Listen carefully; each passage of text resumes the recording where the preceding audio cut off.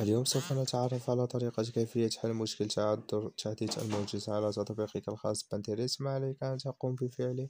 والضغط على الضبط والإعدادات هنا يقوم بأخذنا إلى هذه القائمة. تقوم بنزول الأسفل تضغط على التطبيقات.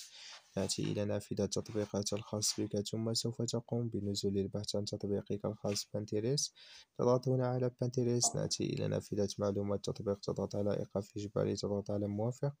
تقوم بنزول أسفل تضغط على مكان التخزين نأتي إلى نافذة مكان التخزين. تضغط على مسح التخزين المؤقت ثم ما عليك أن تقوم بفعله هو أن تقوم بالذهاب لمتجر جوجل تقوم بالبحث عن تطبيقك الخاص Pinterest تجد هناك تحديث تضغط عليه وبعد ذلك سوف تقوم بالدخول لمتجر جوجل. سوف تجد هناك تحديث تقوم بالضغط عليه وبعدها سوف يتم تحديث التطبيق. وحل مشكلتك الخاصة على تطبيقك الخاص وهنا نكون قد انتهينا من هذا الفيديو.